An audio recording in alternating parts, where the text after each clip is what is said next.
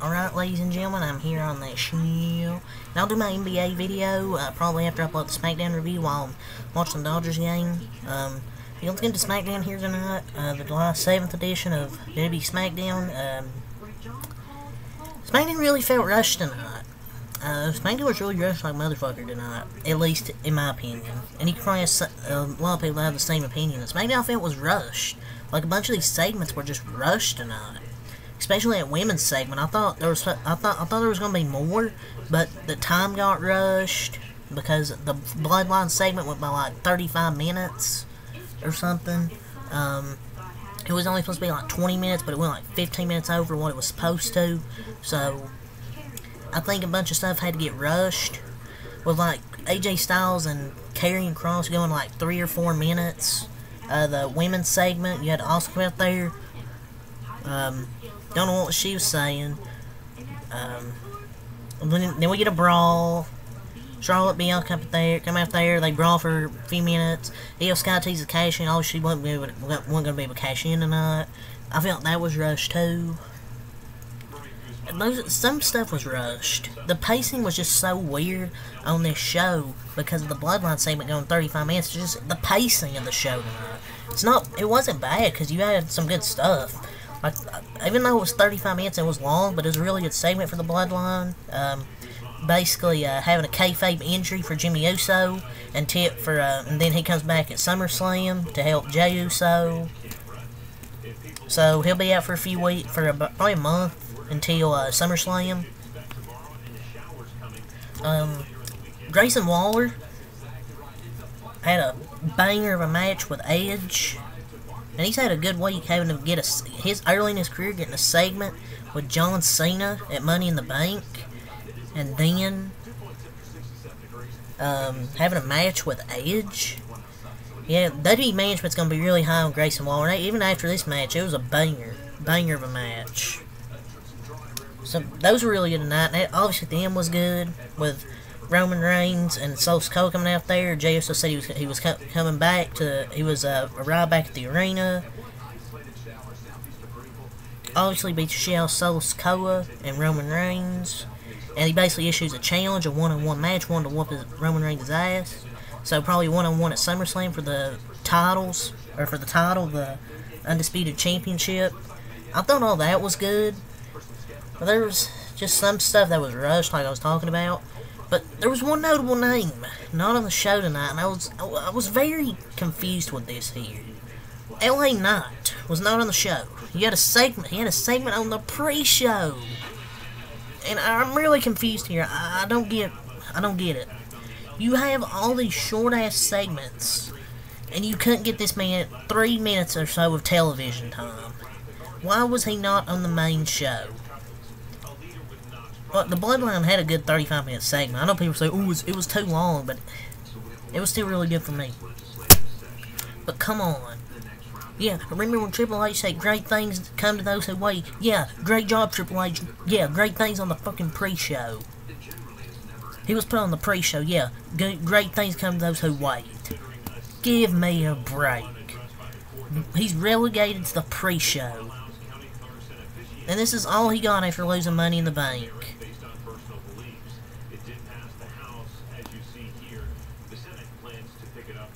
Cut something else. Like, you didn't have to have Karrion Kross and AJ Styles. Look, I really like AJ, AJ Styles, but I don't care about freaking Karrion Kross. Cut that and put LA Knight on the show. He's so over, but put him on the freaking pre-show, dude.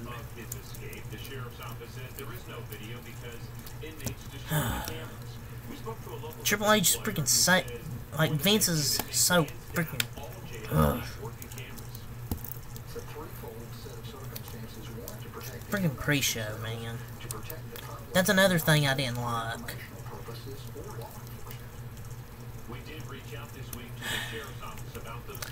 Yes, it is what it is. But it's just, it's... You can't have LA Knight not on the show. Sorry.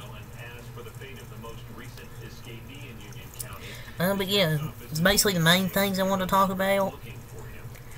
That's some of the good things and a thing I didn't like about LA not, be, not being on the show. Let's into it. So the Usos come out. I was surprised we got the tribal uh, court of Roman Reigns as the first thing to open the show.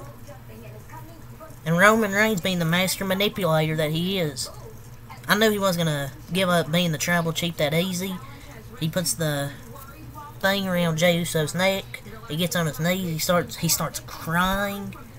But then he hits him with a low blow, which is pretty predictable what was going to happen. But that was still such a good segment to open the show. And then they beat the shit out of the Usos. He was in, um, Solo Sikoa had Jey Uso on the ropes, making him watch. Uh, Roman Reigns beat up his brother. But that was just such a good show. Or such a good open to the show. Roman Reigns was out there shedding tears on his hands and knees in front of Uso, only to low blow him and entice a complete meltdown of the tribal court. Roman Reigns is showing everyone he's he, he could be ready for Hollywood because he his acting has got so much better as a heel. And Roman is legitimately an all-time great heel. Can't believe Vince wasted years of this man as a lame baby face. He's such a great all-time heel. This is probably the best 35 minutes of WWE TV that I've watched in a while. Like, I know it felt too long, but I loved it. Fantastic opening.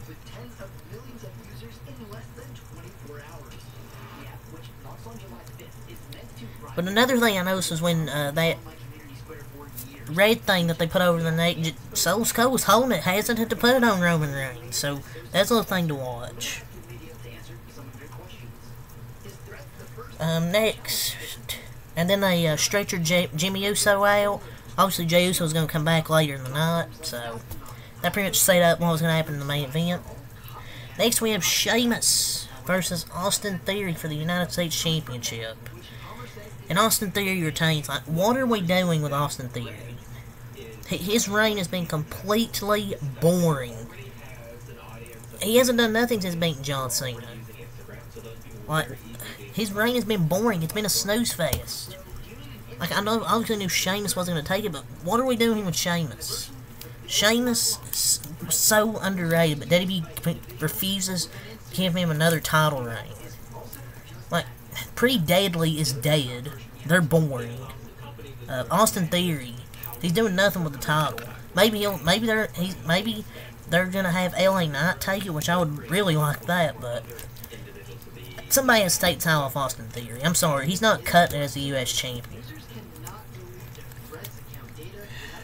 Reign of Terror continues. So we have Grayson, the Grayson Waller effect with Edge, and this is basically setting up for their match, which was a banger of a match, by the way. So his first match on the main roster is against Edge. That's gonna be that was a banger.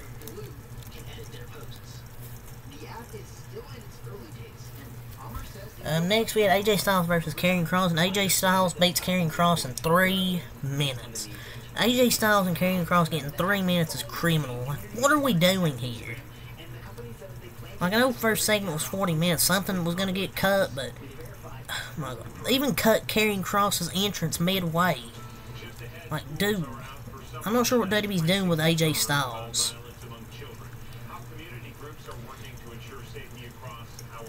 Like, I, I, love the Bloodline, but I'm sick of WWE only putting effort into the Bloodline stuff and neglecting everything else, having to cut stuff short. Like, I love the Bloodline. I love this segment. It was fantastic. But the the rest of the roster deserves some love, too.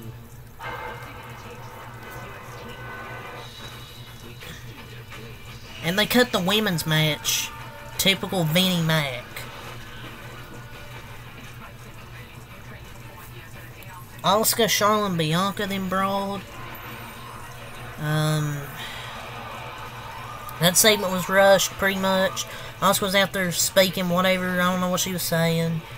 Here runs Bianca, we get a brawl, Charlotte comes out there, and then Asuka's about to do something, jump off the top rope. Iyo Sky hits her in the back with the briefcase. Bayley hits her finisher on it. She's probably about to cash in. Bianca pulls Bayley out of the ring.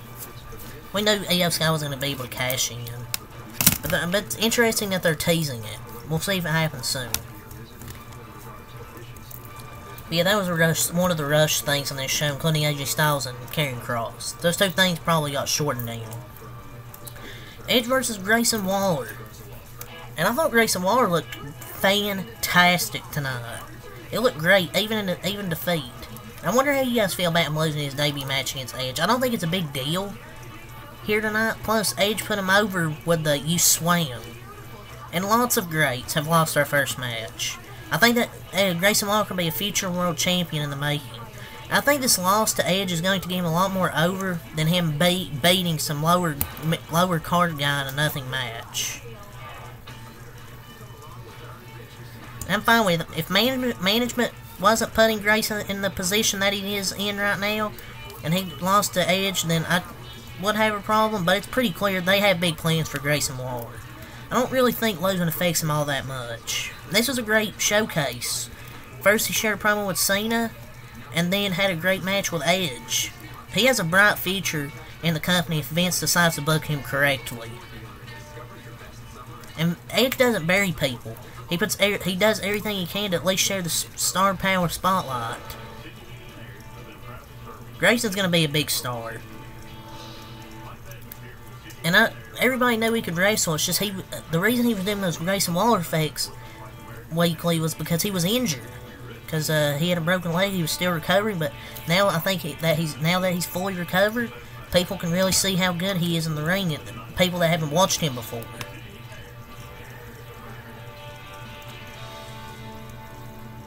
And he's a better Miz.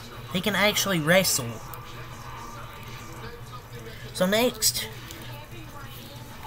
Paul Heyman, the wise man, he tells Roman Reigns, the Jey Uso's back in the building at Madison Square Garden. And Roman Reigns will be up there in the ring waiting for him. And Roman Reigns left Solo to get his ass beat by Jey Uso with a steel chair. That'll be something to look for. Look back on for sure. It's gonna be great. It's gonna be a great moment when Solo Sikoa finally hits that Samoan spike on Roman Reigns and Roman Reigns left all alone.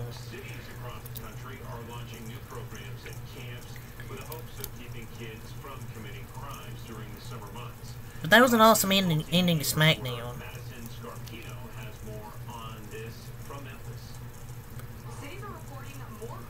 My I feel it's going to be predictable, though. I really want to win the titles. But I just have that feeling Roman Reigns is still going to retain. If he retains it, then I don't know who will beat him. If, if, if, if Jey Uso doesn't do it, then maybe Cody's the last hope.